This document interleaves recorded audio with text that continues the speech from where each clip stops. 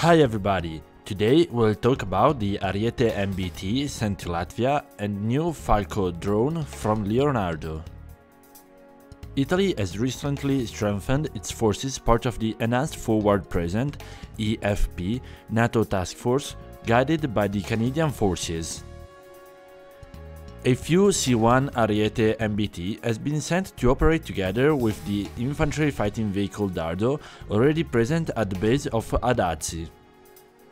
This is the first time since a few years that the Italian main battle tank uh, takes part in an international operation. The EFP was created after 2016 Varsavia summit to reassure the Baltic countries after the Ukrainian crisis. At the Paris Air Show, Leonardo has showed for the first time the new UAV Falco Explorer that is part of the Male medium altitude and long endurance category, the same as the Predator family.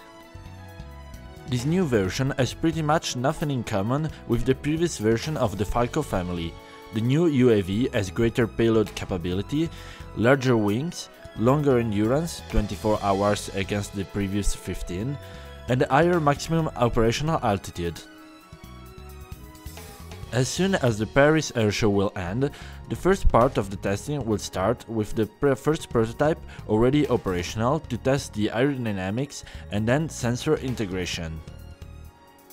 If you want to suggest a topic for a future video, just leave it down in the comment section. The most upvoted comment will be part of a future upload.